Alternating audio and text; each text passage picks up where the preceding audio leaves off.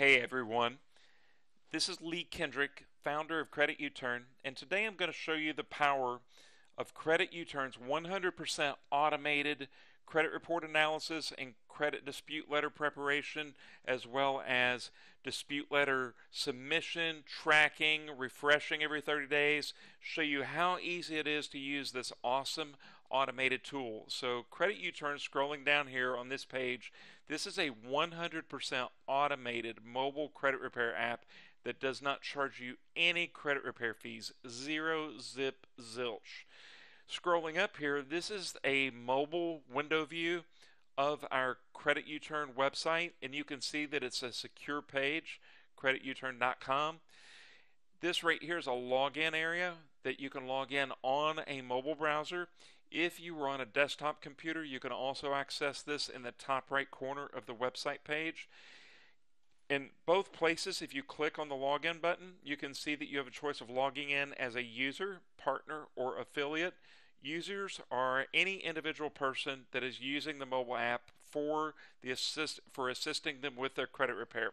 As a partner, you would be logging in as like a car dealership, mortgage company, real estate professional, somebody that has a customer that they're referring to the Credit U-Turn mobile app so that you can use it as a user. An affiliate would log in to track how their partners are doing, that have that they have recommended that they send their customers, which is you, to use the mobile app. Okay, so uh, you can also download this on the App Store. You can also download it on Google Play, depending on what type of, of uh, mobile device you're using. So I'm going to click on the Google Play button right now and show you how easy it is to install. So this takes us to the Google Play Store. This verifies that you're on the Credit U-Turn mobile app. This is the uh, profile image for Credit U-Turn and the installation button. Scrolling down the page a little bit, this shows you how uh, beautiful the website is. It's very simplistic, very easy on the eyes to look at. You can click the read more button right here to learn a little bit more about the app, the steps uh, that you follow in order to make the app work. Uh, and again, it's it's awesome. It's very lightweight. It's very quick to uh, install. So I clicked the installation button there, and it's installing. It only takes it a few seconds. And once that completes installing, we're going to click Open. And now that we clicked open, you go through the splash screen, then it takes you to a login screen. Now, if this is your first time using it, you would not log in. The very first thing you would do is click register. So we're going to click register here, and this brings you to a registration page. Now, I need to put in a real user. We're going to mask or blur out the real user's name, but for purposes of, the, of, this video, I will always refer to this person as our test user, okay? So I'm going to put in a first name, and we're going to put in a last name, and then their email address, and making sure that I get this right. I'm a little bit slow typer and then we'll load in an or we'll load in their password. And I'm going to show you something here real quick. So I'm going to take off one character. I'm going to click register and it would not allow it to go through because it said it should contain at least one special character. So I always recommend that you add a special character somewhere within the password as well as upper and lowercase letters and hopefully even numbers just to make your account more secure. So after you fill in this information, first name, last name, email, password, and confirm your password, you click register and it's going to register your account. It's going to load up another splash screen and take you to your profile page.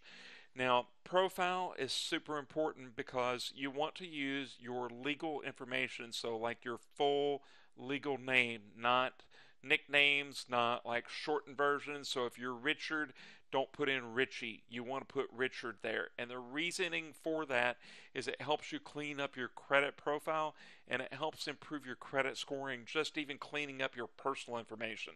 Uh, because a lot of people will have like various spellings of names and and also if you've had any other bad accounts somewhere that used Richie, but you're actually Richard. Whenever we dispute that account and we've also gotten Richie deleted, it might make it easier to help delete that other um, account or at least fix it. Okay, so I'm going to put in a first name here And once again, we're uh, masking this information or blurring it out. You would only choose a suffix if you actually have a suffix second, third, fourth, fifth, junior, senior. If you don't have a suffix, just click back outside of that so that you don't choose one. And then we're going to load in a date of birth. Now, on an Android, you have to select your year that you were born in first. So I'm going to scroll back here to a birth year.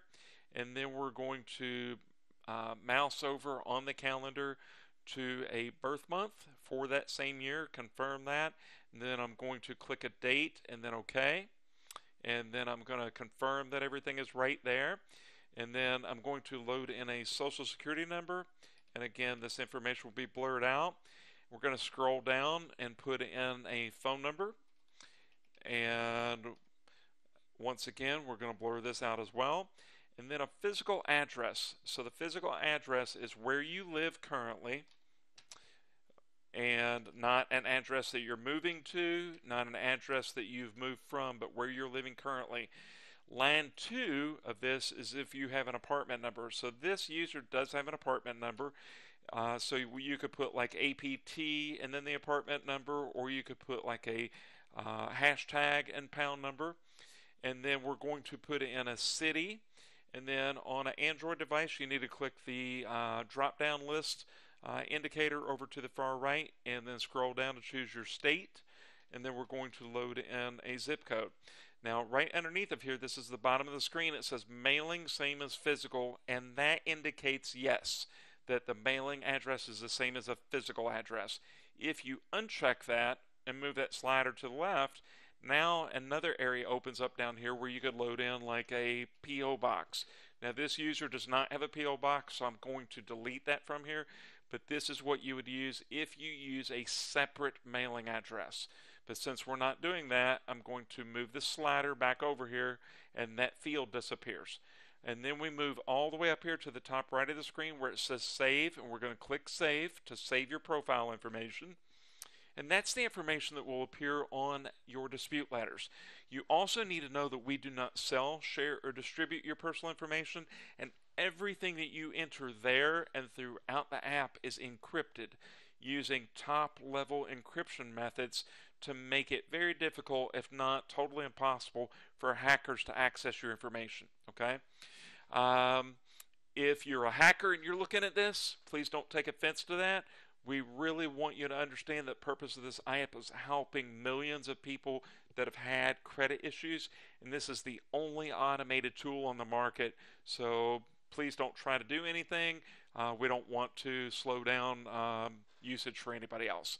So a uh, little joke that I'm making there, people, because uh, it's very, very secure. So this is a verification images screen. Uh, this is telling you that we require at least a photo ID right here and a signature right here at the bare bones minimum, the first and fourth things. However, I'm definitely going to recommend that you provide all images for best results, and there's a couple reasons why. If you don't provide proof of your social security number or proof of your address, after credit agencies have up until 30 days, and sometimes there's an exception where they can have up to 45 days to verify your information and to also ask for verification of accuracy, completeness, or verifiability of an account that you're disputing. And they might wait for 30 to 45 days to mail you a letter that still takes another two or three days to come in that could be confusing. You might not even realize what it says, but it might say buried within there, it might say unable to dispute this account or all these accounts because we need proof of your social security number and we didn't receive that. Okay, so I definitely recommend that you complete all of these things. So another thing I want to show you is on any of these screens, if you click on the X to X out, you're going to get a pop-up that says, are you sure you want to exit the app? This screen is telling you that in order to analyze your credit report, Credit U-Turn needs at least one picture of an ID and for you to create a signature for your dispute letters. Okay, so we click cancel right here and we go back to take picture of photo ID. Now, once we click that, it says take a picture of driver's license or government issued ID. Credit agencies want proof that is you disputing your credit. So, first thing is always recommending that you use a driver's license that matches the address that you provided. If you don't have a driver's license, a state issued ID. If you don't have a driver's license or state issued ID, like a military ID, something that's very, very official document. Okay, so we're going to click OK here, and then we're going to allow Credit U-Turn to take pictures and record video. We're not recording any video, but you do want to click Allow. If you click Deny on any of these things, you're not going to be able to use the Credit U-Turn app because we have to be able for you to access your camera to be able to take pictures. Okay, so hopefully you're using your mobile phone whenever you use the mobile app because it's easier for you whenever you use your mobile phone because you'll be able to take a better picture of your driver's license and proof of your social and that sort of thing. Whenever you do take a picture, turn your phone sideways, horizontal, so that you can fit your driver's license within the same aspect ratio of your mobile phone screen so that you'll get a better image and fill up the entire screen. Don't take a little tiny image, fill up as much of your screen as possible. So for the purposes of this demo though, I'm using a desktop app to simulate using a mobile app. So I loaded in preloaded fake images of a driver's license, social security card, and uh, like a utility bill. So I'm going to go to the gallery, not the camera, and in the gallery, I'm going to select a fake ID and um, it asked me if I want to allow Credit U-Turn to access photos, media, and files on my device. I said yes, allow. And then I'm going to move this right here to highlight the information that I want it to see. Now, if you take your pictures on your camera on your mobile phone, you're not going to have this issue. But as you can see here, I cannot put the whole ID within this little area and I can't stretch this right here, so I have to fit it within this area. If you take your picture on um, using the camera on your phone, it'll always fit within there. So I'm just going to move that around as best possible. Then I'm going to go up here and click crop. And then it shows a green check mark that says that I've completed that. Now, our security I can't see that. My team can't see it. You can't even see your ID. And it's not stored where it's visibly accessible to any referral partner, affiliate, or anybody within like backend dashboards. That image is literally encrypted so that nobody can see it. Okay. Um, proof of social security number. I'm clicked that button and it says take a picture of your social security card, W2 or 1099 forms, tax forms. Credit agencies want proof that is you disputing your credit. So again, this is going to be encrypted and so nobody's going to be able to access it. The only way that your image it, the only person or party that sees your image is the end recipient, which is the credit agency. They're going to receive it anyway. If you don't use this mobile app and you wrote dispute letters, you would literally fold up copies of your driver's license, your social security card, and like proof of your address, and you would mail it in mail. We don't mail it, we use a much more secure method. Okay, uh, so I'm going to click OK here, and I'm going to go to the gallery. I'm going to click the social security card, and I'm going to click crop, green check mark. Then I'm going to click proof of address, take a picture of a recent utility bill, bank statement, or postmark mail proving your address to the credit agency so they know that it's you disputing your credit. Again, in this one, this is a little bit different. So your utility bill bank statement is usually going to be like a full sheet of paper. I don't need you to take a picture of that whole sheet. I don't need the account number. All that you need to do is take a picture of a portion of that bill that will fit within the full screen of the mobile phone that displays your address, a recent date, hopefully less than 30 days old, and who the bill came from. Okay? That way they can authenticate that it's a recent utility bill or bank statement or postmark mail. Postmark mail is last resort, so preferably utility bill, phone bill, gas bill, electric uh, bill, uh, something along those lines, or a bank statement. So, and also in that second option where you took a picture of your Social Security, if you used your W 2 or your 1099 and your W 2 or 1099 address is still the same, you don't really necessarily need to do this third thing because the credit agencies will utilize your 1099 or your W 2 as your proof of address plus your proof of your social. So now on this one, you can see that all that I'm doing is I'm moving this little box around so it highlights the company, it highlights the uh, personal um, address, name and address, it highlights the company's address, and it highlights the most recent date of activity. You click crop, green check mark. And then the last thing all the dispute letters will always be signed with your signature. So you don't want to create a sloppy signature. You want to sign your signature on the mobile phone screen sideways as close as you can to the signature that's on your ID because the credit agency, the person reviewing your dispute letter, is going to want to see whether or not your signature looks similar to the signature that you have on your ID. So I'm going to tap that create signature, sign your name as close as possible to the way that appears on your photo ID so the credit agencies don't reject your dispute letters. Click OK and then sign your name. So I'm just putting test right here in the middle and signing it like I would maybe on an ID. I'm going to click save and then a box opens up. I can move around to make sure that my signature appears in there. Now, whenever you sign sideways, if you notice, you don't want to sign outside that box area, so kind of sign it a little bit in the middle of the screen, just sideways. Okay? Click crop, and that creates your signature. And then something magical just happened. After you complete those things, then you got those check marks. A button here pops up that says continue. So we're going to click continue and then it takes us to setting up your credit monitoring account. Now, this is really important because we have to be able to access your credit reports so that we can analyze it so the software can determine what needs to be disputed, what might not be 100% accurate, what might not be 100% complete or verifiable. Remember, just because you had a bankruptcy doesn't mean it's reporting properly. Just because you had a repossessed car or collections or late payments or any of those things doesn't mean that it's accurate, complete, or verifiable. So our software looks at it and kind of makes some determinations to determine whether or not um, it might not meet all of that criteria. Okay. So then I'm going to load the password that I used previously just for simplicity so that I'm using same information from service to service. I'm going to click register here and then it loads up a screen that passes through first name, last name, email, and um, zip code.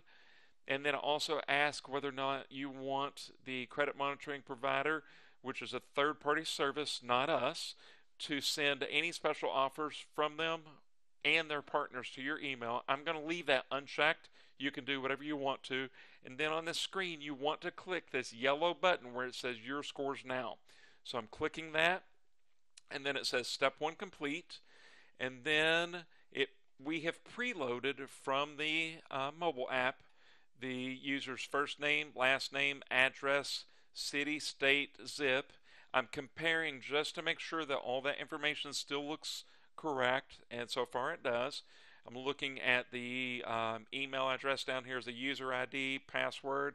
It says, Is getting your score part of a sweepstakes or free giveaway? That's a common question. I'm just going to say no.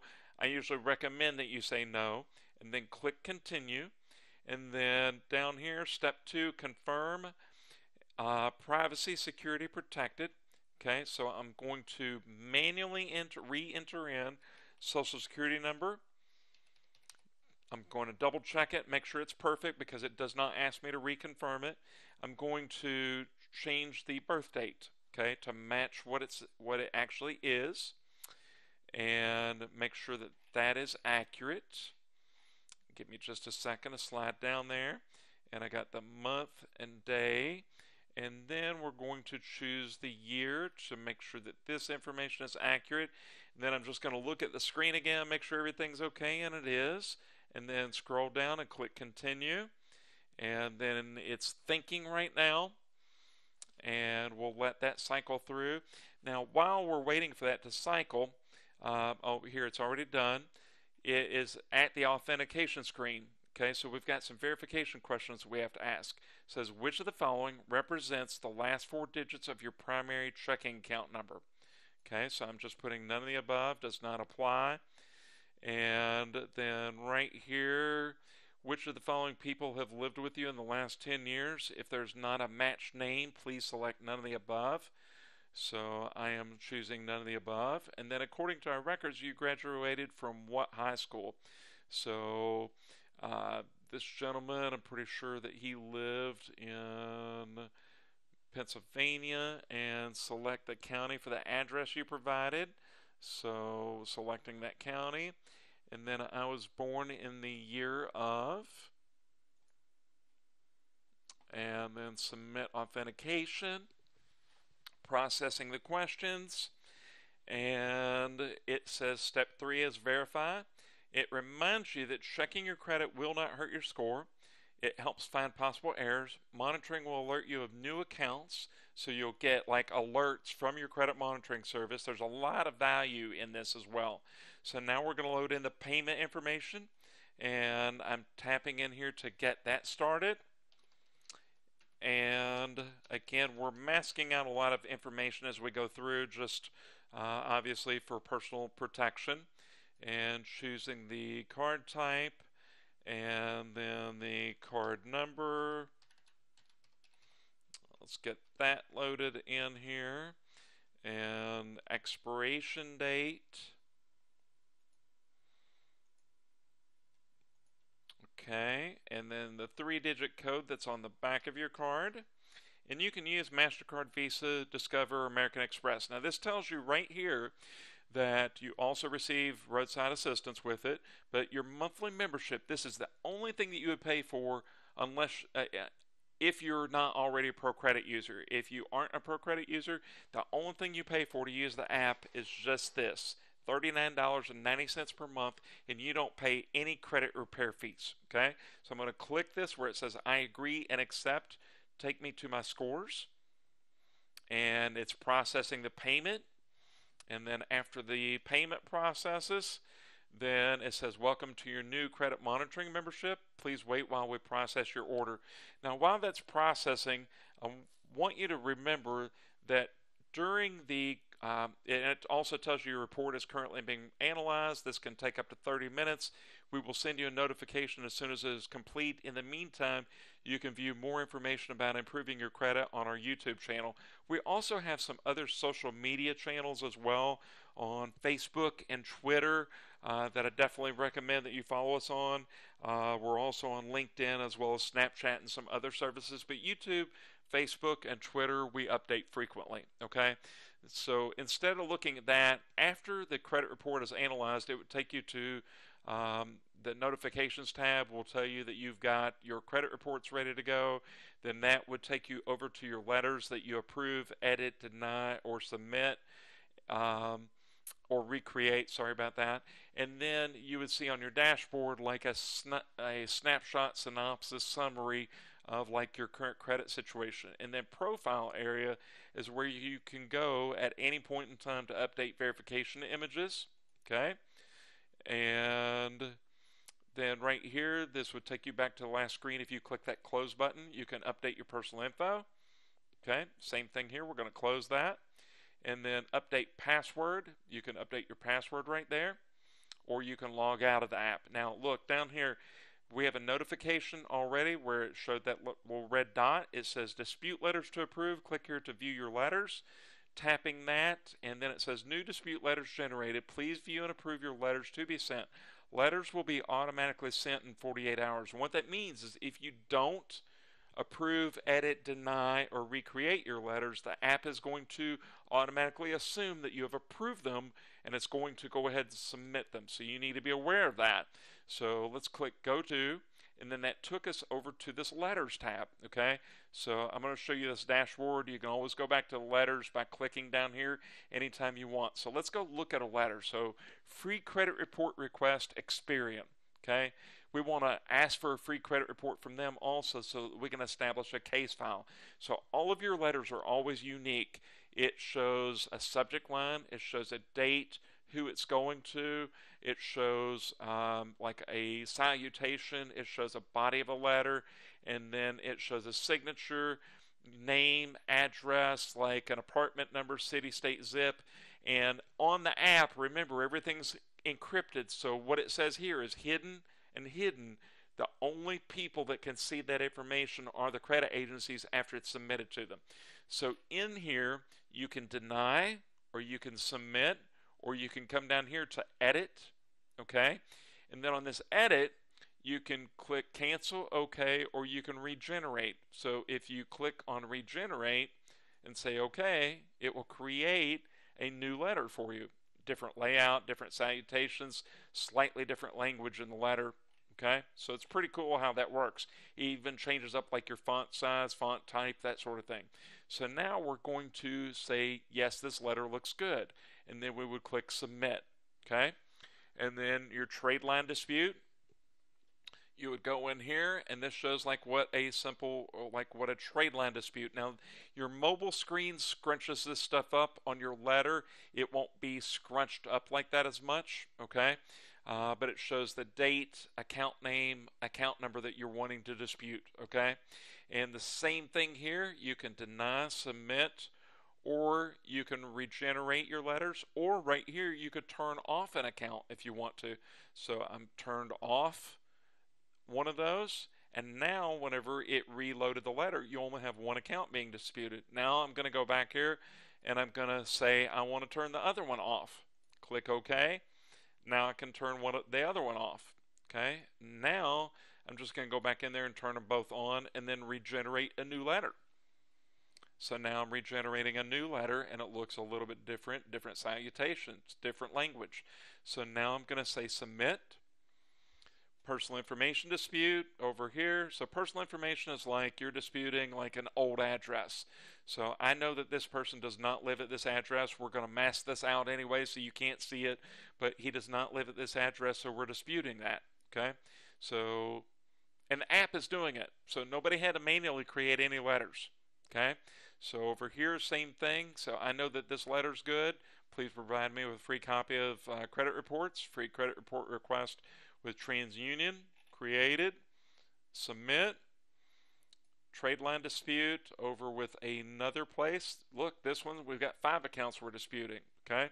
So this one, I'm going to click submit, and then one more where we're disputing some more personal information, different dispute letter, and you can regenerate as often as you want to, okay?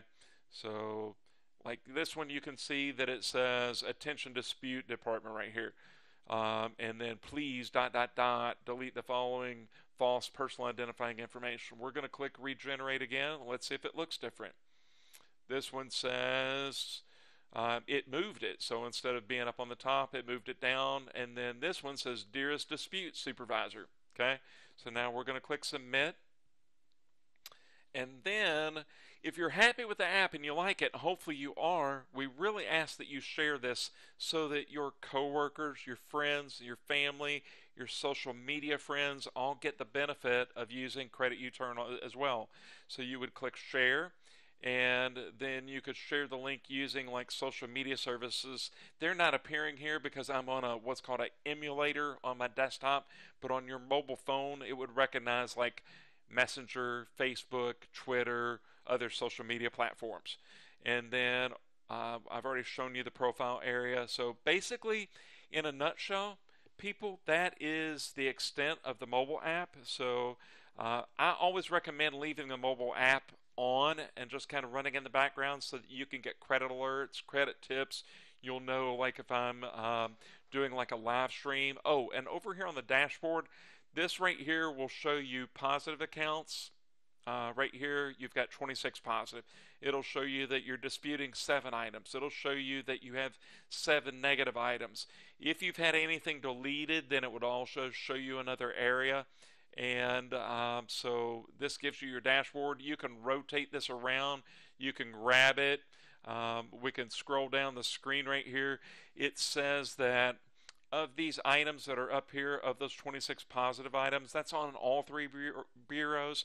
So the, this uh, test user has six positive items with Experian, 13 with Equifax, seven with TransUnion, negative accounts per bureau, disputed per bureau, how many have been deleted, and this person has not had any credit inquiries in the last two years.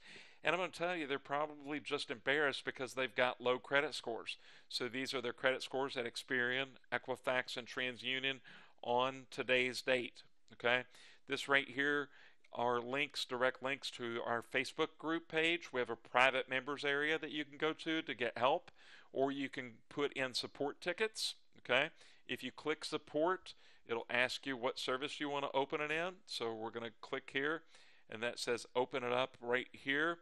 And then there's a form that opens up. You just put in your email, what your issue is, and then type in the description and then submit. Okay. So now I'm going to go back into the app that's on your mobile phone so you can see it's a really nice design. And we'll open that back up, and that brings you back to your dashboard. And then this right here opens up to YouTube. And that'll take you to our YouTube channel, and you can see that you're in the Credit U-Turn channel. So um, again, I'm going to go back into the app. So folks, that is the power of credit U-turn, and and really, what the real power of it is is that you don't have to know credit laws. You don't have to know how to write the letters. You don't know have to know how to analyze a report. You don't have to um, manually submit anything. You don't have to worry about security of your information. You don't have to worry about tracking your progress. It's going to do it for you, and you also uh, don't have to worry about doing it again every 30 days, every 30 days, every 30 days. It's going to do that for you. And it's going to tell you whenever you possibly might be ready uh, to accomplish the goals that you have of either getting a new credit card or lower interest rates or reducing your payments or getting the car that you need or buying your new home. Um, and we're constantly going to be adding new features. So, again, completely 100% automated no credit repair fees. And just keep in mind that through here, please, please follow my live streams, the daily content that I put up.